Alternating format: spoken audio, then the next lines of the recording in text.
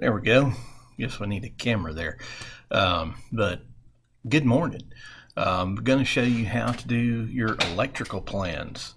Uh, now, for starters, you've probably placed a lot of lights and things into your floor plans of you know your original plan here, and uh, which is perfectly fine. But um, there's another way that we do the electrical plans, and uh, we have to do it this way to get the wiring and stuff like that into our our plans. Um, and that is we're actually going to create an electrical plan. Now, once you create the electrical plan, you can also put lights in there, and it's really up to you if you want to put them in your floor plan um, or if you want to put them into your electrical plan. But um, let's say let's say I've got a fan right now. I think I have some can lights too in there. Um, for my uh, for that particular room right there. So we'll probably see that when I do the electrical plan. But anyhow, um, to do an electrical plan, we're, we're going to go up to the File tab right up here. We're going to click on that. We're going to click New, and we're going to create a new project.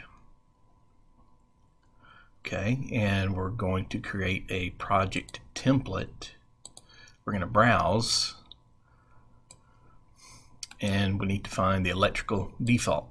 Okay, now this is going to give us all the tools we need for our electrical plan, uh, wiring and um, switches and things like that.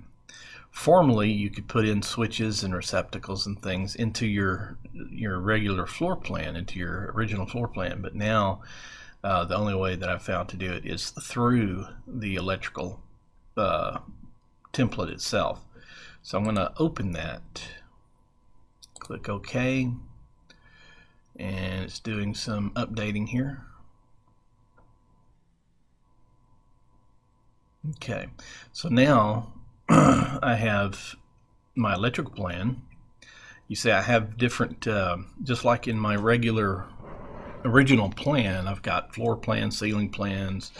Now I have power plans. my floor plans actually include lighting uh, ceiling plan includes ceiling electric um, and all of that good stuff there. Okay, so what do we do from here? Well, we, we still need to plan based on our original uh, drawing. So what we have to do is link our original drawing into this plan. To do that, we go up here to the Insert tab.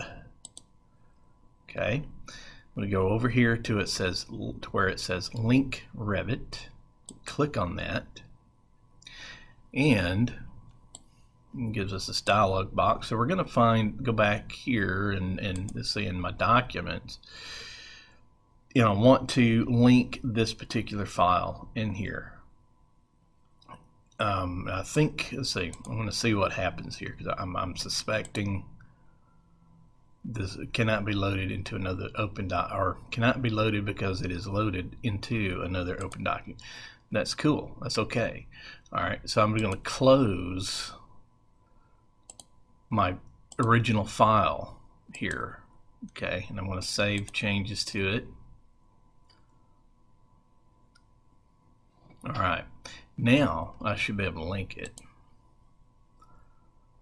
Okay, so here's my original file, new res underscore fuller underscore 2018. Okay, now it is linked, and of course you can see all my light fixtures that I have in there now. Okay, so that is how you create your electrical, or start creating your electrical plan. That's how you link the file. Okay, so we're in here, we're linked now. Uh, the next video, I'll come back and show you uh, how we uh, can place switches and receptacles and things like that.